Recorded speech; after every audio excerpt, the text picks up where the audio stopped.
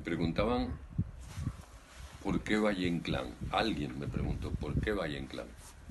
Valle Inclán, desde que yo era muy jovencito, me atrae. Es misterioso y extravagante, romántico y estético, ¿no? Su alma me conmueve. El alma de Valle Inclán se refleja en las leyendas, en los cuentos que él colecciona en un pequeñito volumen que se llama Jardín Umbrío. Ahí se ve el alma de Valle Inclán.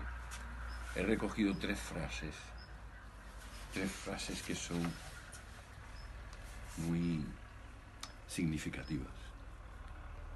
Él dice, el arte es un juego, un juego 14 versos dicen que es un soneto. El arte es, pues, forma.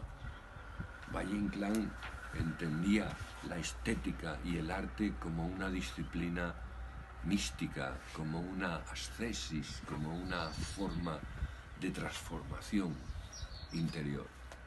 Toda su vida fue una espera. Estuvo toda su vida esperando un milagro, él decía el milagro de la belleza, de la suprema, decía, y eterna belleza. Y miren, dice, el arte, fíjense, exige la espera. Puede estar uno esperando toda, toda la vida para solo lograr el verso de la despedida. Un adiós, pero un adiós verdadero y sencillo. En el arte, cuando no se es un genio, dice, lo mejor es imitar al pueblo. A él le encantaba la leyenda, el romance, la palabra, la palabra en la gente sencilla, incluso la superstición de la gente le conmueve. Ve en la superstición de la gente sencilla de las aldeas gallegas una forma de arte, una forma de expresión de la imaginación colectiva de la gente, de la gente sencilla. Le conmueve. Él sabía que todas esas formas si bien primitivas, son peldaños, niveles distintos, a través de los cuales se expresa esa pasión por el descubrimiento, ese anhelo de algo que está más allá, la fe de la gente sencilla. Todas esas expresiones, incluso las más primitivas, le fascinaban. Él sabía que eran escaleras del peldaño al otro peldaño y del otro peldaño al otro peldaño, hacia la luz.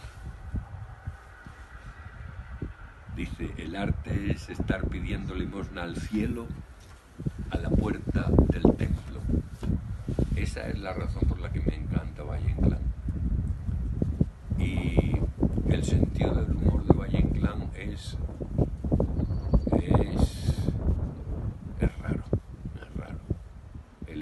decía él, es una imagen que se refleja en un espejo cóncavo. Un espejo cóncavo puede ser una gota de rocío o una lágrima, decía cosas hermosas, cosas maravillosas. Yo soy andaluz. El sentido del humor en Andalucía es completamente distinto. Valle Inclán es atlántico, azul, bárbaro, druídico, culto y bárbaro. Con una barbarie, él era un pendenciero, levantisco, decía él.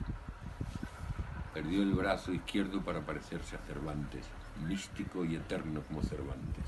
Estaba un día por allí pontificando con sus amigos, pum, pum, pum, pum, y vino alguien y le interrumpió y le dijo algo así como, cállate, cretino. Y el otro, que era su amigo, sacó un bastón. Valle Inclán se parapetó detrás de una mesa, que tenía allí una mesa bajita, donde había cucharillas, tazas de café, platos, y empezó a tirarle al otro plato, tazas, cucharillas, y el otro dio un golpe de bastón en el hombro de Valle Inclán. Valle Inclán levantó así el brazo, otro golpe de bastón en el brazo y le clavó el gemelo de la camisa en la muñeca. Le tuvieron que cortar el brazo. Dice él, pero las musas en compensación, me asistieron para siempre. Y luego después fue amigo de este que le, que jodió el brazo durante toda su vida. Y este se llamaba Manuel Bueno.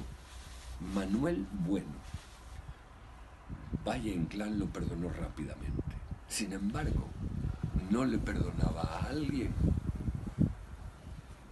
un error en cuanto a lo que se refiere a las opiniones sobre estética, arte, por ahí no pasaba. Lo del brazo era cosa menor. Tengo un lebrel que se llama Carabel, decía él, un perro, y viene el perro, lo dice en un poema, y le huele, le huele, le busca el brazo, y el perro hace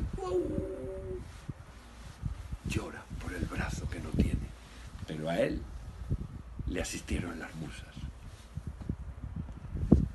Por todo esto, a mí que soy andaluz, mediterráneo, aunque sea un mediterráneo de Jaén que no es muy mediterráneo, es un mediterráneo que es del olivo, de mar de olivos.